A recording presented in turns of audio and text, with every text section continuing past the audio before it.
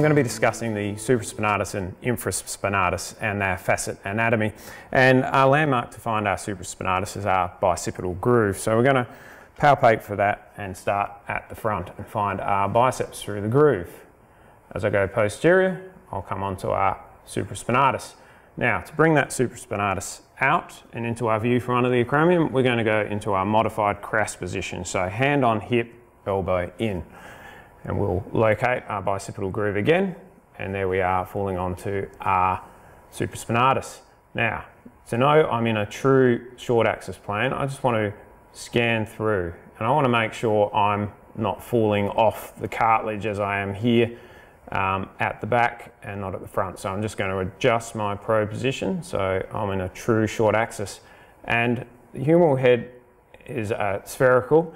What we want to do is as we're scanning down towards the origin, uh, towards the insertion of the supraspinatus, I just want to roll my probe around so I can get a look all the way through there. So I can see that all the way through looking really nicely. Excellent. Then it's a simple, just turn 90 degrees from that position and I'm into my long axis. And again, I want to find my bicep so I know where our anterior supraspinatus is. So I'm going to fall anteriorly until I come off the supraspinatus and there onto the bicep. So as I come back posterior, I know I'm on anterior supra.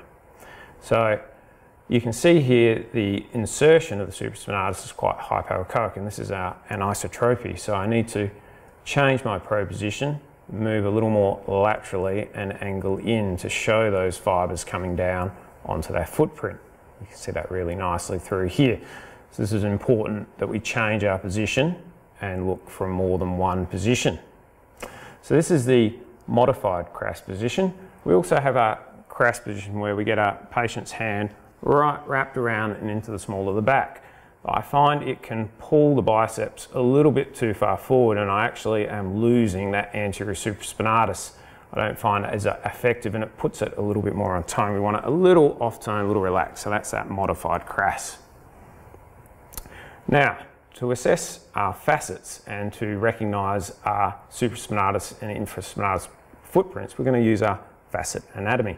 So I'm going to scan laterally and come down onto the insertion.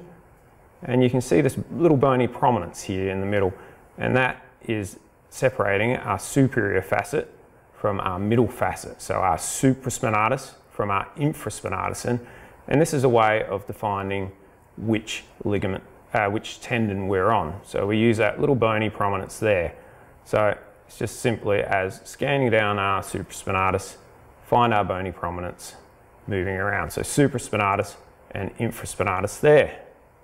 I can also appreciate this in our long axis. So as I, we can see this nice sloped footprint here of our supraspinatus, but as I come posterior, we'll see that start to flatten out. And this will be our infraspinatus.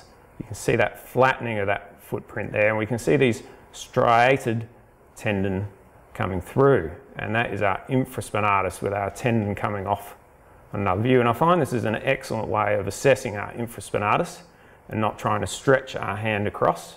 So this is an excellent way of assessing our infraspinatus insertion.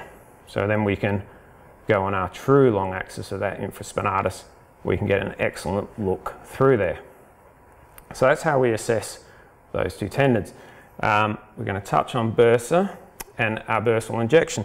So I like to have the patient as relaxed as possible, but we also need to make it as easy for ourselves. So we'll have the elbow back a little bit. We'll have our short axis view, and we will go in from a posterior approach. And again, we won't be right at the edge of the um, edge of the transducer. We'll come back a couple of centimeters and come in a little flat and glide into that top of the bursa and we want to see that fluid flowing away and we don't want to see it puddling up. So that's how we do our injections.